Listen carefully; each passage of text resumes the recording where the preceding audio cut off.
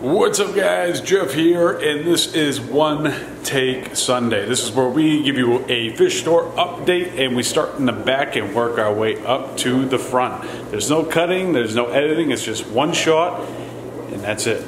So if I mess up, we live with it. Now that I'm really dizzy, let's get to it. All right, so the back room is a little bit of a catch-all, but it pretty much has been a catch-all the entire time uh, that we've been doing this.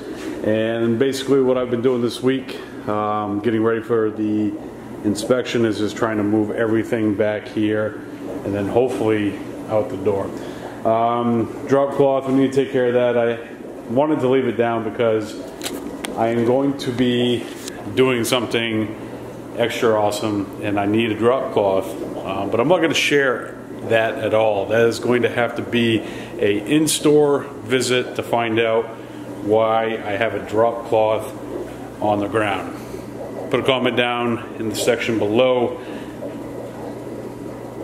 Let me know what you think it is. All right, so the quarantine system hasn't been doing a whole lot. Uh, the freshwater side has been cycling. Um, as you can see, my power strip is revolting. It will not stick to the rack. Uh, yeah, so uh, this t-shirt rack, I want to get that painted up maybe tonight, but I got a lot of things to do with the inspection uh, tomorrow. Gonna go through and kind of organize and pick stuff up before I leave tonight. Um, but we need to get the saltwater system going and cycling. Uh, but it's everything back here has been kind of put off up until now. Uh, that's the plank.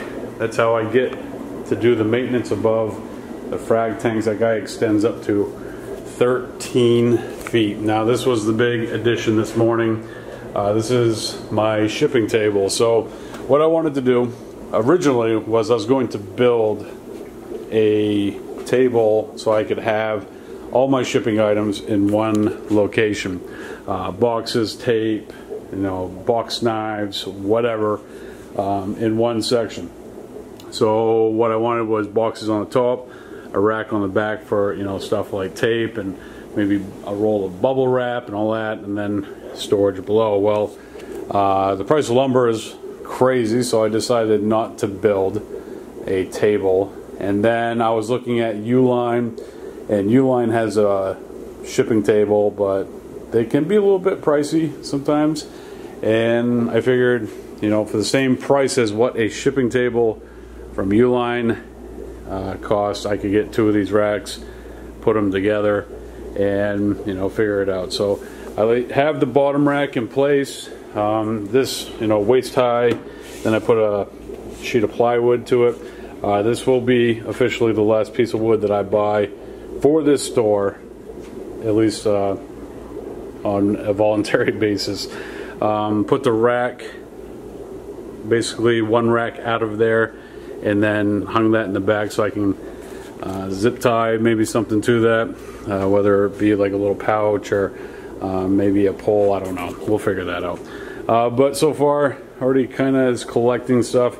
I did put the uh, sander to this so this is nice and um, smooth and I hit the edge real good just because you know my kids got to touch everything and I don't want anybody getting little fingers getting splinters. And then we'll get some boxes up here for the top and basically shipping station down here.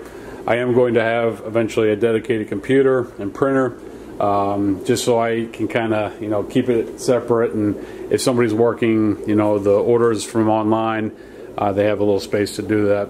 And it's kind of centrally located. So if we end up doing you know back stock here in the back room um, we got that going on and then we got the storefront up there. But as far as this room uh, this week we did paint it we basically just put a primer to it. Uh, if you guys remember or not, this wall was black and I got some touching up to do between the mirrors there. Those mirrors aren't going anywhere and I'm not going to break them. So we'll either just leave them and I'll continue to use them as a whiteboard or we will uh, paint over them at some point. I did buy that little rack um, for that back corner basically just for my radio system. Uh, this is probably one of the best things that I've bought for the shop. Uh, it's Bluetooth. It connects to all the speakers. I can run basically anything that I want. Anything that I can play on my phone, I can play on that. I can play in the store. Uh, so I'm pretty happy about that. But uh, that rack's just for that. Maybe a couple other items. And then uh, we did organize uh, the day before we painted, or the morning before, I did organize this back room.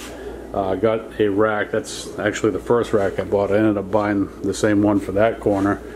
Uh, just to get that table, I don't know if you guys remember or not. Um, there was a wooden table that was left here by the previous tenant. Um, I believe they were like, they did like craft projects or something. It was, it was very loosely built and um, had a lot of wood. Uh, but I was going to salvage the uh, plywood for that, but I ended up just buying a new sheet and sanding it down and making it a little bit more uniform. Uh, but everything that was on that table is now on that rack and uh, easily found with the uh, organization that we got going on. We also got our horse, horse, horse, sawhorse, sawhorse, sitting there. Um, those are going to definitely come in handy for shows, which I just got a message yesterday for one of the very first shows that I'm going to be doing for 2022 and I'm probably going to get that figured out here this week and get signed up for that because Corals Unlimited is going to be going places, seeing some things um, and we got that to sign up and pay our dues for that. It's probably one of the most inexpensive shows around. It's in the Northeast. It's the biggest show in the Northeast. Uh, we've done it once already. We're definitely going to do it again. Uh, back here, we got some uh, styrofoam from our fish order that we had. Holding on to that for whatever, I don't know why. Uh, TV that eventually that we're going to be hanging up. And my little kettle for all my hot meals that I got here at the shop. We got the uh, the cup of noodle we got some, what else have we got? Got some Easy Mac, even though that the Easy Mac, it's probably supposed to be microwaved. It tastes a little weird. That's what I've been living off, folks. Not really, but um, when I'm hungry and I don't feel like running to the store, that's what I eat. Uh, that is fish store survival at its finest. Uh, we went through and hung up all our fire extinguishers. I got one more. This is my um, Kiss Tail extinguisher. This is the extra that I'm going to be putting up for today. And uh, we're going to put that right there. Um, so let's go check out what we got going on the sales floor today. So uh, we are filling up our last little bit of RO water uh, before we got to take that down because I'm sure that the code enforcer is not going to be okay with that just dangle in there. Um, but we've been kind of going through, picking up. Um, I've had some help come in and go through all the products and price them out and get them on the website. We're still listing stuff. Um, you guys are still ordering, and I appreciate that. Uh, but this is what the cash wrap looks like at the moment. Um, this basket here, I was going to Look at that, some raffle tickets. Hmm. Wonder what we're going to be raffling. Um, this basket I picked up at Goodwill, and I'm probably going to put some Swedish fish in there for the kids, um, so they can grab some Swedish fish. But um, this guy's working out pretty good for us, and we got the table all nice and cleaned up, point of sale system ready to go. Um, I'm glad that I went with the black. The black is mighty sharp with that wood top for sure. Um, definitely a good choice. I was originally, I had it gray. I don't know if you guys noticed that or not um, or watched that video, but uh, looks a lot better with the black. Polly helped me make the decision on that. Uh, we still got some products. These are our expensive, expensive products, excuse me, um, that we need to get listed. Still not listed on the website. Um, but we got some XR30s there, some XR15s. Uh, I think we also got Maxspect FX330. We got some A360Xs. We got some nice stuff sitting there, just sitting there. chilling out, waiting. Uh, this tank we got right now is probably not going to be ready for the open unless I fail my inspection.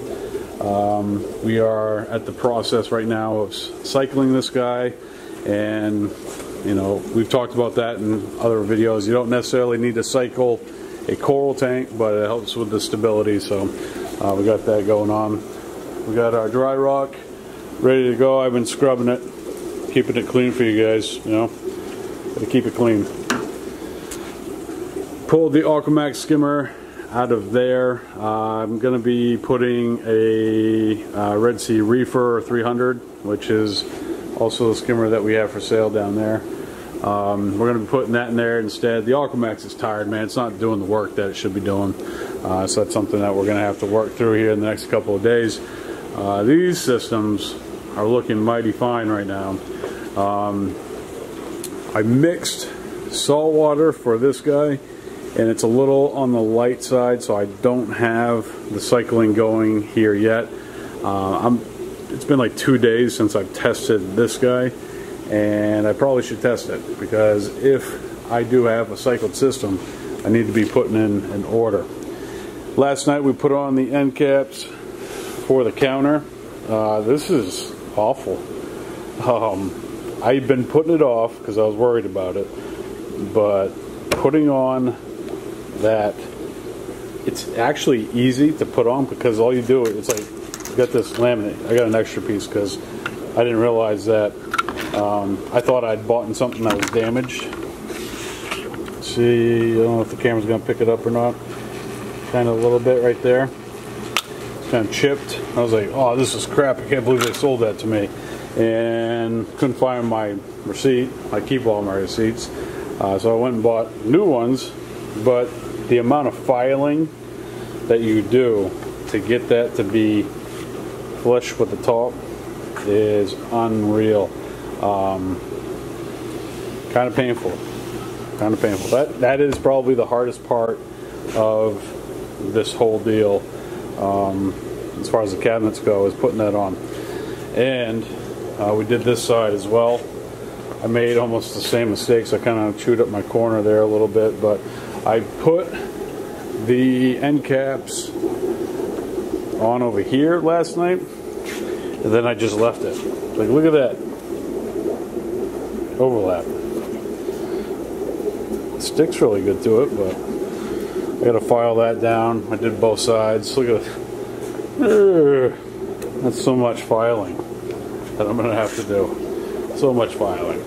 Um, and I kind of needed to do it that way because lo and behold, the top of this one's all chewed up as well. But we got to get that wrapped up tonight.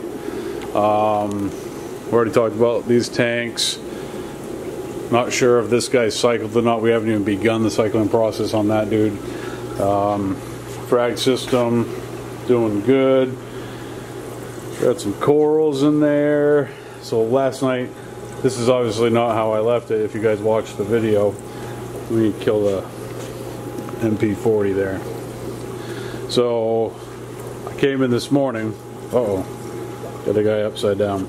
Um, and I've been messing with the schedule of the MP40, and for whatever reason, you know, where this is so thin, it's it's a lot thinner than glass. But I took off the gasket because I only got so much space in there for that, um, or the spacer, not the gasket.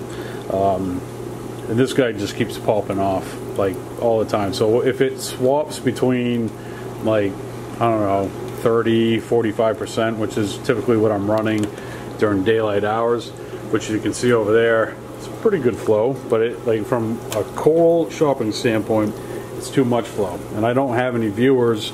Uh, I'm not going to be able to get any in here in time uh, for the open as long as we pass our inspection. But um, this guy just keeps kicking off, and he must have went nuclear last night because all these corals were all piled up. Luckily, uh, none of the corals that got smashed around were like corals that potentially could kill each other or sting each other uh, because of the way um, they were all soft corals. It wasn't a you know a big deal. Um, but a bunch of the soft corals, mostly these guys right here, were all like piled up. Most of these guys just kind of pushed up and the disc kind of held them down a little bit. But um, Lobo's a little, little upset today. Sun corals are doing all right. The uh, I didn't even realize the Alveopora. Can't even see it. It's like purple, purple tentacles with like a light blue mouth. I thought that that was a skeleton. It's not. It's like a. It's absolutely stunning. But they're already showing signs of life. Pretty happy. Um, most of the sticks that we got are looking good. The Pavona is looking super hairy right now, but uh, these guys are doing all right. Uh, we got a sale, or actually, I got to put in the rest of my order with um, vendor number one, so that we can get that in here. I'm going to do an extra. I'm to double double that, and then we're going to do a double order with them as well. Um, yesterday, when we did our receiving coral video, which if you guys want to check that out, uh, that was yesterday's video. Um, we talked about the mushroom that was dislocated. Now I am not going to move this guy because I want him to stay put and get you know attached to something. But what I did is I took one of the specimen cups, cleaned it out, I drilled a bunch of holes in it, and then put some substrate in the bottom, then put the mushroom in the bottom. And I'm going to let him sit there for, you know, maybe two weeks, and then take him out. He's probably going to attach to a piece of rock, take out that rock, and then glue that to a plug. Uh, that's how we're going to fix that. We also kept the plug, which is right there. Uh, that's why it's way over here by itself. Uh, just in case of that foot, you know, there's a little piece of it, that mushroom will regrow. Uh, so that's why we're hanging on to that plug. But uh, a lot of things going on today. We got a lot of stuff priced out, ready to go. Um, still got some stuff squirreled away over here that we need to get through. Uh, but yeah, we're making progress. And tomorrow we have our inspection at 1 o'clock. So we're either going to be incredibly excited and nervous because we're opening the next day, or we're going to be scrambling to figure out how to fix what we need to fix. Either way, I've told myself today, either way, I'm going to be okay with it. We'll figure out what we need to do and we'll keep moving forward. That's going to do it for today. Thank you so much for joining me for One Take Sunday. I've messed up a couple times, a couple times today, uh, but that's going to do it, guys. Thank you so much for watching. If you want to help support what we're doing here at Corals Unlimited, there is a link to the shop, the online store, down below, and we're adding new stuff every single day. Uh, if you're new to the channel, not a subscriber, part of the 54% that watch these videos every day and are not subscribed, hit that subscribe button, baby. Doesn't cost nothing. It's absolutely free. See you tomorrow. So much work to do. Peace.